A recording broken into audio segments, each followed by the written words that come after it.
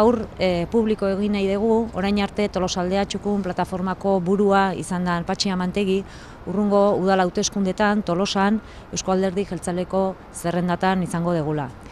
Patxi e, ibili da azkenean herrian zegoen egoneza baten inguruan e, ba, e, bagaia bideratu nahian, ez? Herritar guztiekin hizketan bai bere aldeko iritzia zuten herritarrekin, baita ere bere iritzia ez zuten herritarrekin ere bat eginez. Patxi Amantegik alderdi politiko guztiekin hitz egin du.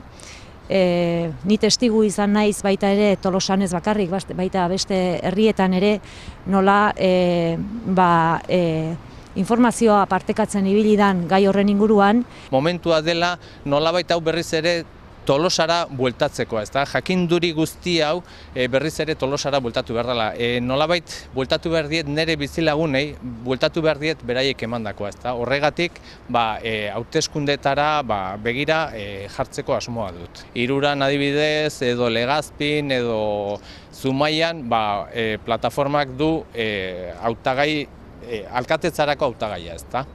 E, beste herritan, noetan bezala edo e, ibarran bezala edo, egin deguna da beste, e, beste lista batzutan txertatu ditugu gureak. E, tolosan adibidez, ba, nik hautatu dudana, aukeratu dudana da, olatz peonek burut, e, burutzen duen e, listatan e, aurkeztea.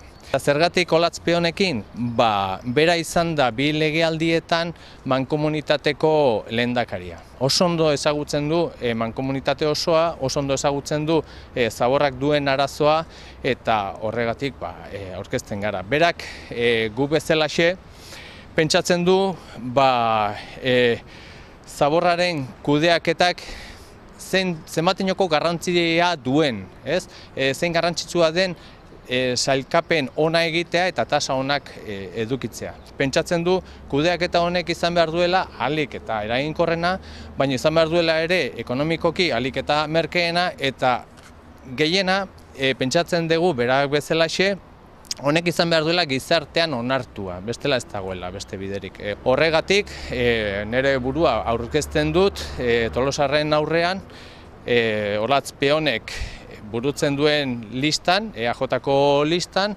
independiente bezala. Tolosan aurkeztuko deguna, izango dira, gutxi gora bera, lau puntutan e, definitzen den e, modelo bat, ez? Lehenengo puntua izango da, edukinontziak dimensionatu beharko direla sortzen den e, ondakin konpurura. Beraz, e, zenbait puntutan, edukinontzia handiagoak jarri beharko dira. Bigarren puntua izango da, maiztasuna. Eh, herritarrak e, ordun eta egokiago sailkatzeko bere hondakinak ba maiztasuna egin beharko da handitu. Hirugarrengo puntua oso importantea da kale garbiketa. Egiten e, jasotzen ari geran ekarpin guzti horietan kale garbiketak indar handia dauka eta laugarren puntua importantea baita ere gardentasuna kudeaketan.